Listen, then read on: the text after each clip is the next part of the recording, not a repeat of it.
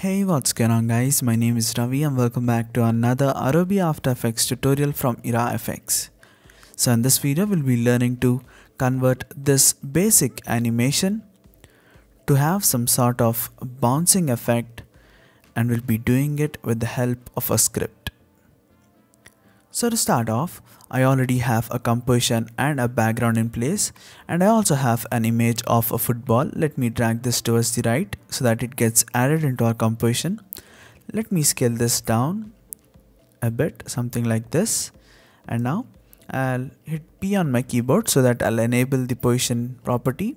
I'll click on this timer button here at the first frame and I'll move around 10 frames forward and bring this down like this. So if I start playing the video you can see that this is how the ball comes down.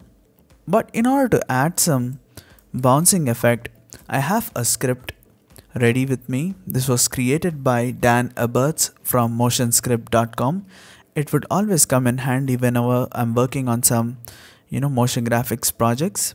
So I'll copy paste the script here. So this is the script alright and I've copied it. And now if I hold alt on my keyboard and click on this timer button here an expression editor opens up and I'll simply paste the script here. If you look at the script you can see that we have a lot of properties added. So if I start playing this you can see that this is how the you know the ball bounces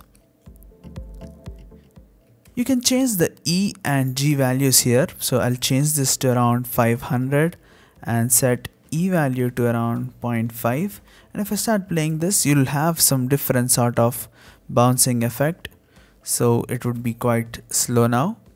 So it all depends on your requirement. You can play with the E, G and the Nmax values. So you can explore this script and make necessary changes in order to get the desired bouncing effect. I hope you found this video helpful and if that's the case give us a thumbs up and if you'd like to talk with me you can always reach out to me on Instagram. See you guys next time with another tutorial.